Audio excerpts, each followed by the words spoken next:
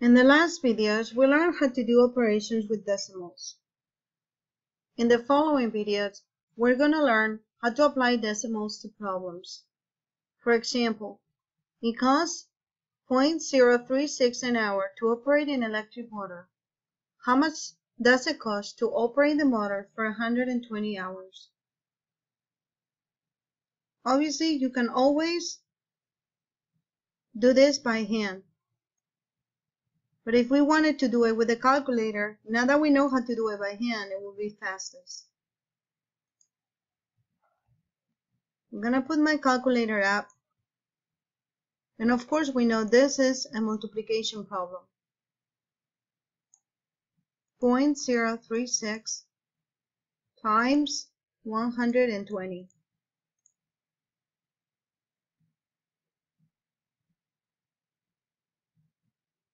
120 hours will cost $4.32.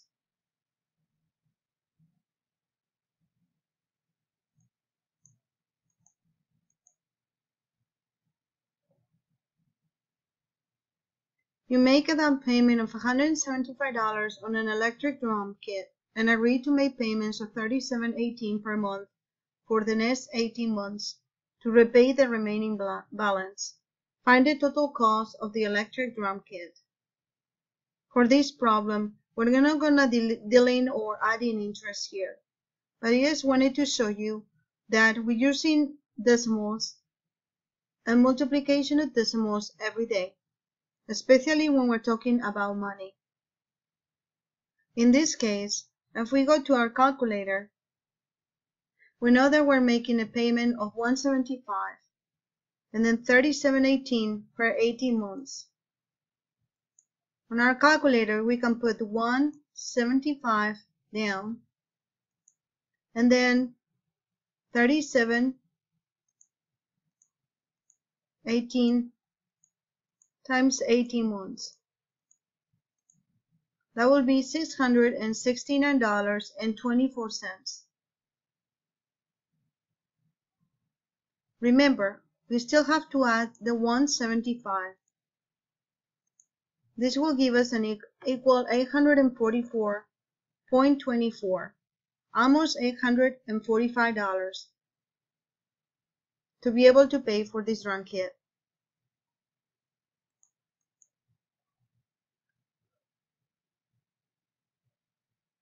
As we saw, to convert a fraction to a decimal, divide the numerator by the denominator of the fraction. We can do this without calculator. For example, 5 divided by 4. Let's turn that into a decimal. We get the calculator and can do 5 divided by 8. We get 0 0.625. The same thing if we wanted to convert 70 elevens.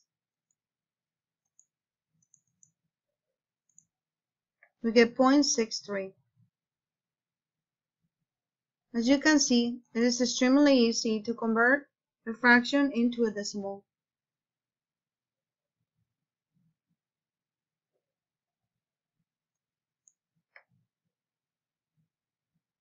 Here's are some examples that you can peruse to get familiar with decimal to fractions or vice versa.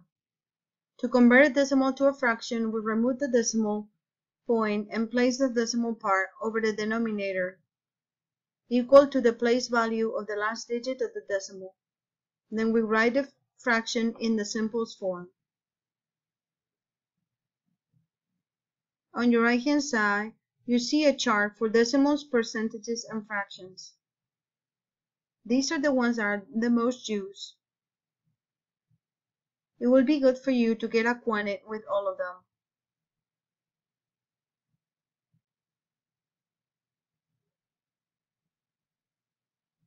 This is another example in which we're changing decimal to percentage and to fraction. When we have a number such as 23%, we can say that if we divided 23 by 100, it will give us a fraction, 23 over 100. It will also give us a decimal of 0.23. We not only can do this dividing, but also we can do the opposite, the opposite which is multiplication. Here is again some of the most common fraction used.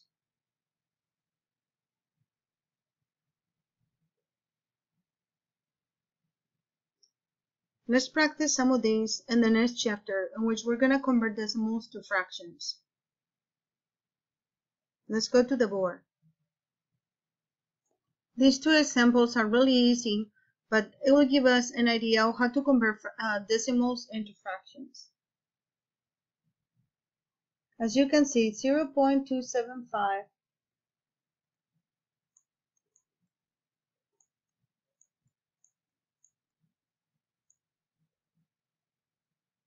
If we come from the decimal, the 5 will occupy the place of the thousands, which means that much be easier divide by a thousand.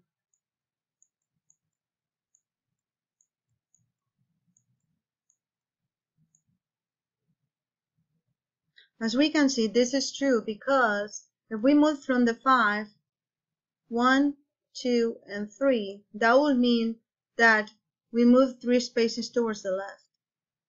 But we are dividing.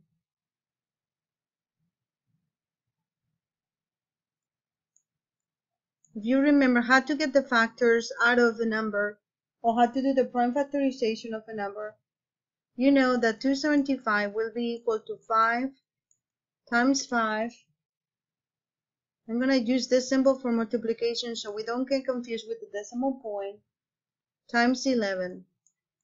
11 is a prime number. And then a thousand has a lot of factors, of course. 2 times 2 times 2 times 5 times 5 times 5. If you remember, we can also could have had 2 to the cube times 5 to the cube. And on the top, we could have 5 squared times 11.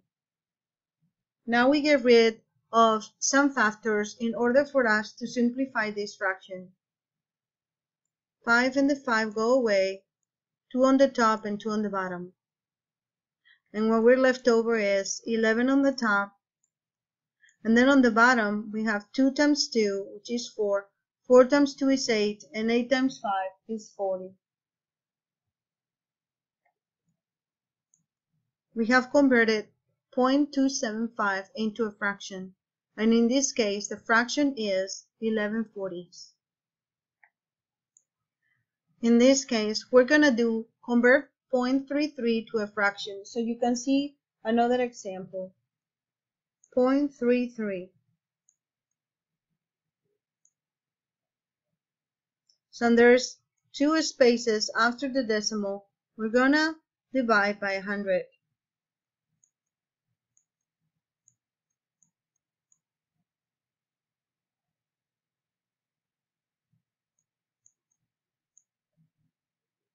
In this case, we got 33 over 100. We know that 33's factors are 3 and 11. 11 is a prime number. And then factors of 100 is 2 times 2, which is 4. Let me use the multiplication symbol so we don't get it confused for decimal. And then times 5 times 5.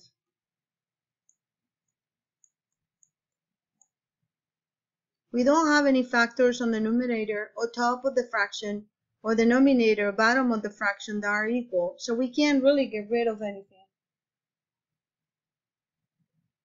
In this case, 33 hundredths will be the fraction of 0.33.